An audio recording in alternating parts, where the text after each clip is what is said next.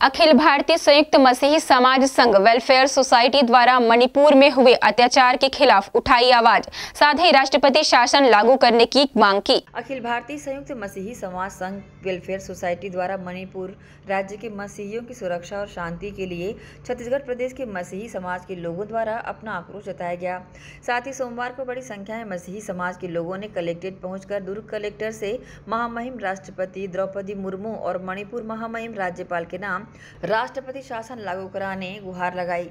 इसी कड़ी में उन्होंने कहा कि मणिपुर प्रदेश में हमारे मसीही समाज के भाई बहनों के ऊपर केंद्र और राज्य में भाजपा शासन काल में प्रधानमंत्री और मुख्यमंत्री के द्वारा मसीही भाई बहनों के ऊपर नाना प्रकार के अत्याचार किए जा रहे हैं, जिसे बंद कर दोबारा इस तरह की घटना से निजात दिलाने की मांग की गई है। एक्चुअली मणिपुर में जो विभत्स घटना घटी है ईसाइयों के खिलाफ में, उसके लिए तो सारा समाज अभी दुखी भी है और आकर्षित भी है।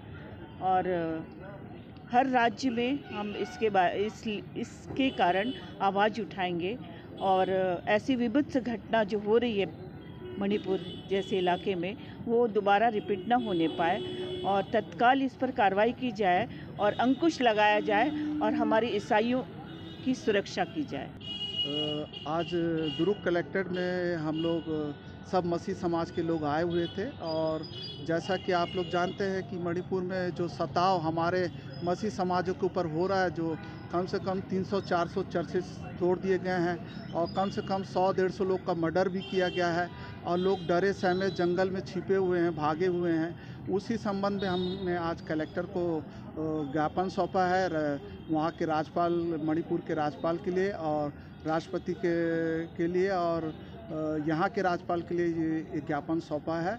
और हम चाह रहे हैं कि मणिपुर में जब वहाँ पे कंट्रोल प्रशासन के तरफ़ से वहाँ कंट्रोल नहीं हो रहा है तो हम चाह रहे हैं कि वहाँ पे राष्ट्रपति शासन लगाया जाए और हमारे लोगों को सुरक्षित सुरक्षा दिया जाए और हमारे लोगों को सुरक्षा मुहैया कराया जाए।